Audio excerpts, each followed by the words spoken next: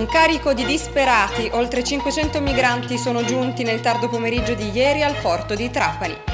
Giardini pubblici, altalene e polemiche. A montare nuovi giochi alla Villa Margherita è stato il sindaco di Trapani, Vito Damiano. Impossibile reperire un operaio. Al via i lavori sulla statale Salemi Gibellina, operai dell'ANAS al lavoro per recuperare alcuni tratti dissestati nell'importante arteria viaria. Il sindaco Venuti servono interventi radicali.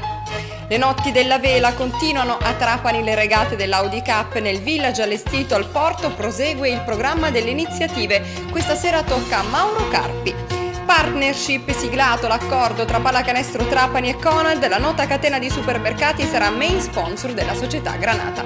E poi nella seconda edizione del nostro TG ci occuperemo dell'allarme lanciato dagli abitanti di Pizzolungo in Balia dei Ladri. Le case della località balneare vengono saccheggiate ormai con frequenza. I residenti hanno chiesto all'amministrazione comunale di Erice di installare le telecamere, sollecitati anche maggiori controlli da parte della Forza dell'Ordine. Buongiorno e bentrovati con la nostra prima edizione del TG. Questi erano i nostri titoli, torniamo come sempre dopo la pubblicità con tutte le notizie e gli approfondimenti.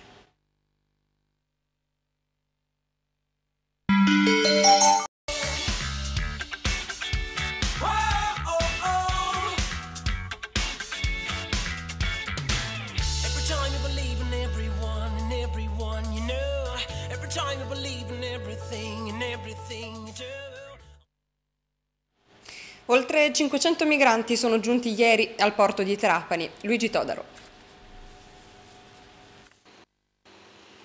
Un nuovo carico di disperati. Una storia che ormai si ripete con troppa puntualità perché il fenomeno degli sbarchi, nonostante le tante tragedie in mare, è inarrestabile. Ieri in città sono arrivati oltre 500 migranti soccorsi al largo delle coste libiche uomini, donne e bambini in fuga dal loro paese e con la prospettiva di rifarsi una nuova vita altrove. Hanno però rischiato grosso perché i barconi utilizzati per la traversata si sono subito trovati in difficoltà in balia della corrente. I 500 fanno parte del gruppo salvato dalle unità navali impegnate nell'operazione Frontex. Loro sono stati strappati alla morte. 50 loro connazionali invece non hanno avuto scampo soffocati nella stiva del barcone dove erano stati ammassati dai trafficanti di uomini. I profughi sono giunti al Molo Ronciglio a bordo di una nave militare irlandese. Ad attenderli sulla banchina la solita task force composta da vigili urbani, carabinieri, polizia, guardie di finanza, militari della Guardia Costiera, uomini e donne della protezione civile, associazioni di volontariato, ambulanze. I migranti stremati per la lunga traversata sono stati rifocillati appena messo piede sulla terraferma e sono stati sottoposti ai primi accertamenti sanitari nelle tende da campo allestite al Molo Ronciglio. Non si sono registrate situazioni di emergenza dal punto di vista sanitario. Restando in tema di migrazione ed accoglienza, domani pomeriggio alle 18 ad Erice nel campetto di calcio del Circolo del Tennis si aprirà il primo torneo internazionale organizzato dal Centro di Primissima Accoglienza per Minori Stranieri Non Accompagnati di Santa Maria delle Grazie di Erice. Il torneo è stato organizzato in collaborazione con Peppe Tallarita dello staff CONI Trapani e grazie alla solidarietà e allo spirito di partecipazione degli ericini del capoluogo dell'AIA, sezione di Trapani e della famiglia Morace del Trapani Calcio. La prima partita partita sarà un amichevole tra Africa United composta dai minori africani ospiti del centro di accoglienza e la Juvenilia 1954 presieduta da Monsignor Adragna. Ritornano le altalene alla Villa Margherita di Trapani a montare questa mattina il sindaco Vito Damiano, degli operai nemmeno l'ombra. Ritornano le altalene ai giardini pubblici, ma la notizia non è questa. La notizia è che a montarla è stato il sindaco Vito Damiano e gli operai comunali non pervenuti. Il primo cittadino annuncia che adotterà provvedimenti. Frattanto domani mattina Damiano provvederà anche a passare il Bostic nei tappetini che saranno collocati sull'asfalto per proteggere i bambini che giocano con le altalene. Impossibile infatti reperire un operaio che possa svolgere questa mansione assai difficile, mettere il Bostic per incollare i tappetini. Finalmente sono ritornate le altalene ai giardini pubblici Merito di chi? Merito della buona volontà, perché il, io già è da sei mesi, poi c'è stata la lettera di quel bambino che aveva chiesto la riattivazione del, delle altalene, ho chiesto agli uffici di riattivarle perché ritenevo che fosse una cosa così banale, così stupida da realizzare. Stamattina dicevo a un, un ragazzino che chiedeva ma eh, cosa state facendo qui? Ho detto il sindaco oggi rinuncia ad una giornata di lavoro ai suoi impegni per venire a montare le altalene, perché non è possibile, 500 dipendenti dipendenti, non c'è un dipendente che si piglia la briga di mettere in funzione le altalene. Guardi, io oggi ho speso 43 euro per mettere in funzione queste due altalene. Eh, chiaramente c'erano grossi problemi di bilancio perché siamo in esercizio provvisorio, nel capitolo non c'erano le somme, eccetera. Quindi proprio disgustato di questo atteggiamento degli uffici comunali sono andato presso i negozianti, sono andato, si possono fare i nomi? Dal ferramenta, sono andato dal venditore di attrezzature nautiche a comprare pezzi in acciaio, eccetera. Facciamo il fai da te e sistemiamo le cose. Quindi deve scendere in campo il sindaco perché evidentemente gli altri non funzionano. Ma ci saranno provvedimenti nei confronti di questi dipendenti, diciamo, distratti? Sicuramente, sicuramente. Domani metteremo in funzione le altre due, con, stiamo aspettando il falegname perché abbiamo commissionato le tavolette dove far sedere i bambini per realizzare le cose. Quindi altri giochi? No, altri giochi, le altre altalene, quindi le altalene saranno cinque in esercizio. Un comunicato dell'ufficio stampa della società di trasporti Segesta con allegate centinaia di mail di protesta certificate da parte dei turisti che lamentano i disservizi creati dall'ordinanza sindacale che impedisce il transito dei bus lungo la via Ammiraglio Staiti. Le proteste dovute ai disagi causati dall'ordinanza emanata dal sindaco di Trapani nel pieno della stagione estiva che impone il divieto al transito degli autobus di linea sulla via Staiti hanno provocato le proteste di centinaia di viaggiatori, turisti, pendolari e residenti. Proteste certificate con centinaia di segnalazioni certificate da documenti di riconoscimento e recapiti telefonici. Il provvedimento impedisce agli autobus provenienti da Palermo e dall'aeroporto di Birgi di raggiungere il porto, meta delle linee extraurbane e finalità dei servizi che le aziende contrattualmente devono erogare all'ente committente, la Regione Sicilia, e ai viaggiatori. La chiusura al transito dei pullman provoca l'interruzione del tragitto e nega di conseguenza ai passeggeri il diritto di raggiungere direttamente la tappa finale, cioè lo scalo portuale. L'ordinanza del Comune viene considerata dagli utenti come un attentato al turismo e alla razionalità e Trapani come l'unica città d'Italia dove il sindaco vieta ai mezzi pubblici l'ingresso nel centro storico sostituendoli con altri mezzi più vecchi e senza aria condizionata, colpendo turisti e anziani che viaggiano con il servizio pubblico. Così commenta l'ufficio stampa della compagnia di trasporti le immagini di turisti che trascinano stancamente i propri bagagli arrivando dalle isole Egadi sono un pessimo biglietto da visita per una città a vocazione turistica. Al via i lavori dell'ANAS sulla statale 188 Gibellina Salemi. Il sindaco di Salemi venuti servono interventi radicali. L'amministrazione vigilerà. Operai dell'ANAS in azione per i lavori di recupero di alcuni tratti dissestati della strada statale 188 che collega Salemi a Gibellina. I cantieri sono stati aperti dopo la lettera scritta dal sindaco di Salemi, Domenico Venuti, che a fine luglio aveva chiesto all'ANAS un intervento urgente per la sistemazione del manto stradale della principale via d'accesso alla città che collega il centro abitato allo svincolo dell'autostrada A29 Palermo-Mazzara del Vallo. Nella lettera ultimo di una lunga serie di solleciti venuti, aveva evidenziato i disagi subiti dagli automobilisti che ogni giorno percorrono quel tratto della 188. La strada infatti aveva subito diversi danni a seguito delle piogge invernali.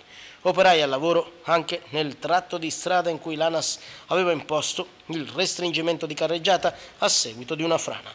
Il sindaco Domenico Venuti ha spiegato come si tratti di un intervento tampone da parte dell'ANAS, ma che consentirà comunque di sistemare la viabilità nei punti più critici, assicurando che la sua amministrazione comunale resterà vigile così come già avvenuto per la statale di collegamento con Marsala, continuando a chiedere all'ANAS il massimo dell'attenzione.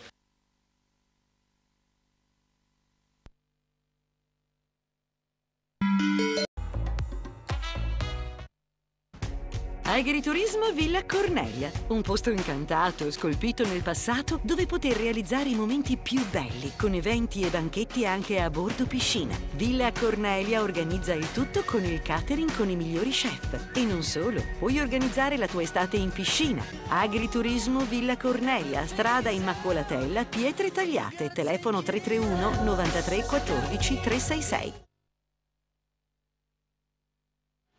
E adesso parliamo di Audi Cup, da solo in testa alla classifica provvisoria, dopo due giornate di gare l'equipaggio americano di Argo rispetta il ruolo di favorita per il titolo mondiale delle Melge 32. Le condizioni climatiche di ieri con scarso vento da nord-est hanno consentito una sola regata ai 22 equipaggi che fino a domenica regateranno nelle nostre acque per la conquista del titolo mondiale Melge 32. Il successo di giornata è andato all'equipaggio di G-Spot con Serena di Lapigio Briccin. Considerato qualcosa di più di un potenziale outsider dai pronostici della vigilia, l'equipaggio di G-Spot ha mostrato buoni spunti prestazionali e ha tenuto testa ai leader della prima giornata, Argo e Stig, sopravanzati nel corso della seconda bolina grazie alla buona lettura del campo da parte di Branco Briccin. Conquistata la testa della regata, G-Spot ha tenuto a distanza tanto Argo, finito secondo, quanto Stig, terzo sulla linea. Grazie ai risultati odierni, la classifica della manifestazione cambia parzialmente aspetto.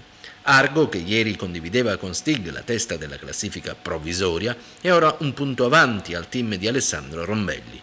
La coppia di testa ha fatto letteralmente il vuoto. Direi che sì, la classifica sicuramente vedrà quelle imbarcazioni nelle prime posizioni, ma ancora presto perché sono state fatte solo quattro regate, ce ne sono altre sei, in una flotta così competitiva eh, la lotta sarà fino all'ultimo. Eh, basta uno scivolone per trovarsi dal primo, secondo posto al sesto, al quinto, al settimo e viceversa, quindi è troppo presto ancora, ma certamente sono gli equipaggi che stanno dimostrando di essere arrivati a questo campionato con la miglior preparazione di gruppo e quindi di essere davanti. Avete già scelto il campo di gara di oggi? Uh, penso che sarà sempre il campo nord ma eh, il comitato di regata si riserva di decidere all'ultimo momento, ma visto il meteo e il maestrale che, maestralino che continua a tenere, direi che sarà quello che mi sembra un'ottima scelta. E sarà Mauro Carpi questa sera ad allietare il village della vela. Ogni sera rientro dalle regate, gli equipaggi assieme agli appassionati della vela e ai tanti turisti presenti in città si ritrovano nella tensostruttura di via Miraglio Staiti per le notti della vela. Lunedì è stata una giornata bellissima, come detto tu, è stata una giornata di aggregazione, è stata una giornata in cui Trapani ha mostrato il suo volto più bello. Siamo riusciti a regalare alla cittadinanza questo bellissimo momento di intrattenimento, oltre che di intrattenimento sportivo con questa bellissima regata che è stata fatta nel porto. Tra l'altro io ringrazio il comandante Guccione per averci dato la possibilità di ripetere un po' quello che è stato 15 anni fa con l'America's Cup quando venne chiuso il porto per fare la sfiata delle barche e è stato uno spettacolo stupendo, è stata un'emozione vedere queste imbarcazioni sfilare lungo il porto di Trapani, regatare fra di loro. Poi c'è stato questo, questo, spettacolo dei fuochi artificio che è stata una cosa molto molto suggestiva, sul, sempre sul porto.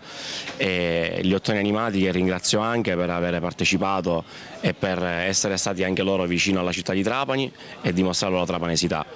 E come ho detto la sera dell'inaugurazione questo è un momento di aggregazione, un momento di sport è un momento di festa, è un momento in cui Trapani deve, deve, mostrare il suo volto più bello ed è il momento in cui dobbiamo lasciare un buon ricordo perché questa città può fare tanto se comunque siamo tutti uniti e se siamo tutti in un'unica unione di intenti, che è quella appunto di promuovere lo sport e di promuovere la cultura. Sicuramente eh, a seguire in questi giorni ci saranno altri avvenimenti e voglio già dire che eh, sabato ci sarà eh, un aperitivo rinforzato e dove siamo tutti invitati. Dalle 18 in avanti quando eh, le imbarcazioni arriveranno in banchina parteciperanno tutti gli atleti, mentre invece domenica sera dalle ore 22 in avanti è previsto un party di saluti perché eh, ricordo che domenica eh, finirà la classe Melges 32, quindi finirà il mondiale con la premiazione alle 19.30 e successivamente il lunedì ci sarà il cambio delle imbarcazioni, arriveranno i 24 per il campionato europeo e, e ci sarà un giorno diciamo, di day off il lunedì per dare il tempo di poter sistemare le nuove imbarcazioni e salutare dire, i nostri primi ospiti che spero si siano trovati bene qua a Trapani. Domani alle 18 nell'oratorio della Chiesa dei Salesiani il sindacato 50 e più ha promosso lo spettacolo Tra canti e balli presentato da Lidia Manuguerra. Si tratta di una serata di beneficenza con proventi che saranno devoluti alla comunità Servi di Gesù Povero di Suor Maria Goretti e allo stesso oratorio salesiano. Cala il sipario sulla rassegna letteraria Inchiostro d'autore organizzata dall'Ente Luglio Musicale. Si pensa per i prossimi mesi ad una nuova edizione con novità e grandi ospiti. Il servizio. Si è conclusa con un buon successo di pubblico e consensi la prima edizione della rassegna letteraria Inchiostro d'autore curata dal giornalista Marco Rizzo ed inserita nel progetto Trapani, città mediterranea della musica, il grande contenitore culturale voluto e realizzato dall'ente Luglio Musicale Trapanese che per quattro mesi ha animato la stagione estiva del capoluogo. Otto appuntamenti con un parterre di firme di livello nazionale ed internazionale che si sono svolti nell'atmosfera del chiostro di San Domenico a Trapani. Tra gli ospiti Adriano Sofri, Benedetta Tobagi, Davide Camarrone, Gipi, Giacomo Pilati, Giacomo di Girolamo e Maria Attanasio e Daria Galateria, sul palco per ricordare Elvira Sellerio. Un salotto letterario condotto dal giornalista Marco Rizzo senza limiti di genere o tematiche, variando nei registri e nei contenuti e ponendo al centro l'autore. L'ultimo incontro della rassegna con Concita De Gregorio, che ha incontrato il pubblico trapanese per raccontare il suo ultimissimo libro, Mi sa che fuori è primavera, un racconto di dolore, amore e speranza una delle firme più celebri di Repubblica e conduttrice di Pane Quotidiano su Rai 3, Concita De Gregorio, ha raccontato la forza della parola, il rapporto tra letteratura e grande pubblico. Trapani si è dimostrata ancora una volta una città curiosa, accogliente, assetata di conoscenza e cultura ha commentato Rizzo, che si è soffermato sulla presenza dei più grandi autori contemporanei, spaziando dalla graphic novelle al romanzo epistolare, dall'inchiesta al libro commemorativo, regalando a Trapani una rassegna di alto profilo, degna di una città al centro del Mediterraneo, crocevia di culture e culla della storia. La rassegna continuerà anche nei prossimi mesi. Dall'ente Luglio Musicale hanno infatti annunciato che è in programma nei prossimi mesi una nuova edizione di Inchiostro d'autore con novità e grandi ospiti. Si conclude oggi a Favignana la rassegna culturale Favignana Incontri 2015, curata da Alberto Stabile. L'ultimo appuntamento si terrà alle 18.30 nel giardino di Palazzo Florio, con l'incontro dal tema Se l'antimafia finisce alla sbarra. Ne parleranno i giornalisti Attilio Bolzoni, Francesco Lalicata, Vincenzo Vasile, Franco Viviano, Alessandra Ziniti e lo sceneggiatore Marco Rizzo. Invece domani sera a partire alle 21.30, sempre a Favignana, si terrà il nono appuntamento della rassegna letteraria L'altra Marea a Prodi d'autore alla Tornara Florio di Favignana, curata dal giornalista e scrittore Giacomo Pilati, che avrà come ospite Matteo Collura, che presenterà il suo libro La Badante. Autore del best seller Sicilia sconosciuta, Collura scrive articoli di cultura per il Corriere della Sera e vive a Milano. L'iniziativa culturale L'Altra Marea è organizzata dal Comune di Favignana in collaborazione con la Soprintendenza ai Beni Culturali e Ambientali di Trapani e si concluderà il prossimo 12 di settembre. Invece terminerà questa sera alle 21 nel cortile della scuola media Pacelli eh, di Paceco con la proiezione del film Il Concerto, la rassegna cinematografica Cimarte, l'arte che racconta l'arte, organizzata dall'associazione socioculturale Quattro Rocce. La pellicola chiuderà il percorso tematico sull'arte dedicato alla musica. È previsto anche l'intervento del direttore del Conservatorio di Trapani Scontrino, Walter Calogio Roccaro. Sempre questa sera, alla Villa Margherita di Trapani alle 21.30 si terrà lo spettacolo finale dell'ottava edizione del workshop Erice Danza svoltosi nei giorni scorsi all'Hotel Tirreno a Pizzolungo. A presentare lo spettacolo sarà Edelfa Chiara Masciotta, Miss Italia del 2005. E adesso pubblicità, ma restate con noi perché dopo c'è lo sport.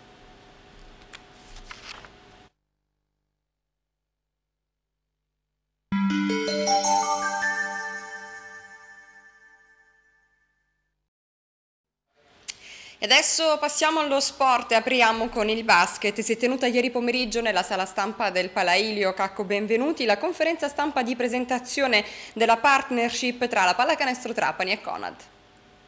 Un accordo annuale in partenza, poi si vedrà. Ha preso il via così l'accordo di partnership che legherà come main sponsor il marchio Conad alla pallacanestro Trapani, oltre al già consolidato Lighthouse. Qual è l'obiettivo di Conad? Ce lo spiega il direttore generale di Sicil Conad, Natale Lia. Fare la sponsorizzazione di un'attività sportiva ha un valore che secondo me va, va ben oltre il semplice aiuto economico ad una, ad una squadra uh, di portare avanti i propri progetti sportivi. Sicuramente è legata um, alla volontà e alla visione diciamo, che c'è il gruppo Conad verso i giovani, verso le, le, attività sane, verso uno sport dove il fair play, la, uh, lo stare insieme e tifare però in modo sano, senza eh, senza drogare diciamo, il, uh, il, mondo sportivo è sicuramente di, uh, educativo verso, verso, i giovani.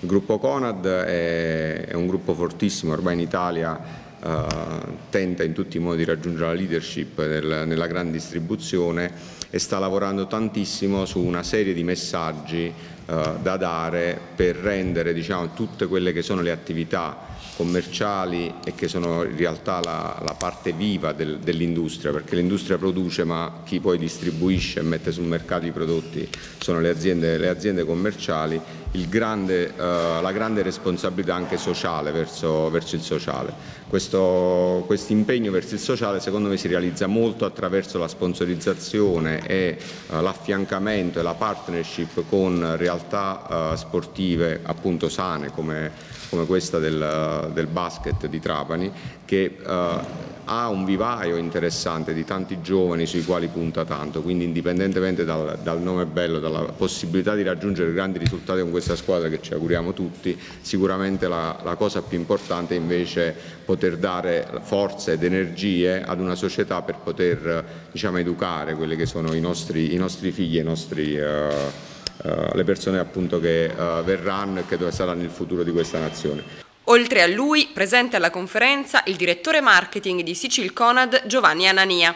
A fare gli onori di casa il presidente della Pallacanestro Trapani Pietro Basciano, l'amministratore delegato Giulio Trovato ed il responsabile commerciale Andrea Agazzani. Ospite d'onore il noto giornalista Italo Cucci. Una nuova denominazione quindi per il Palailio che prenderà il nome di Pala Conad, così come la creazione della Conad House, la dimora delle nuove leve della pallacanestro Trapani e poi tornei giovanili in giro per la Sicilia e l'Italia sempre a marchio Conad.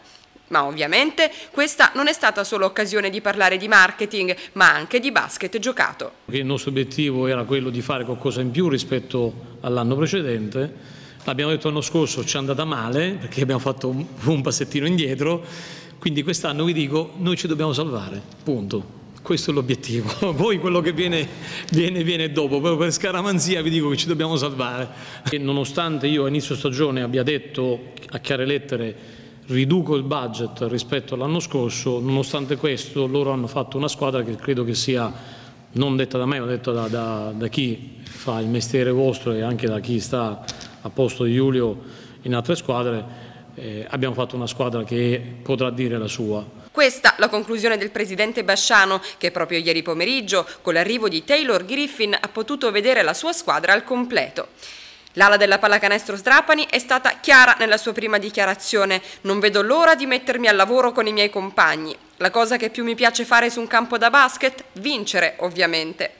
La presentazione degli americani con tutta la prima squadra al completo e lo staff è fissata per domani sera alle 21.30 al porto di Trapani nell'ambito dell'Audi Tron Sailing Series.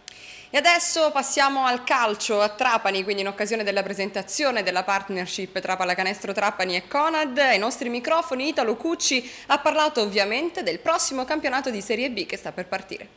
Il campionato, se riesce a partire, mi sembra un campionato divertente, un campionato dove mancano grandi protagonisti, quindi sarà un campionato di B di quelli lottati fino all'ultimo minuto senza che ci siano gli squadroni che scappano un attimo prima, anche se a onore del vero gli squadroni dell'anno scorso sono il Frosinone e il Carpi, ragion per cui c'è gloria per tutti, nonostante lo Tito si può salire in Serie A. Sarebbe bello se ce la facesse anche il Trapani perché ormai siamo tutti ad armi uguali. Puntare su quelli che in realtà possono costituire eh, le emozioni e rispecchiare i valori di una città. Ma mi piace dire una cosa che indipendentemente dalla bravura dei dirigenti, del basket, del calcio eccetera, la fortuna delle squadre locali è di essere in una città ampiamente tollerante, una città che aiuta, una città che spreme entusiasmi anche per poco perché ne ha voglia e che accompagna le due squadre con grande affetto, con grande passione. E adesso chiudiamo con gli appuntamenti su Telesud alle 21 e alle 23, appuntamento con la politica, il nostro direttore Rocco Giacomazzi per Seconda Repubblica intervista l'onorevole Paolo Ruggirello. E adesso rimanete con noi perché dopo la pubblicità c'è come sempre la nostra seconda edizione, state lì.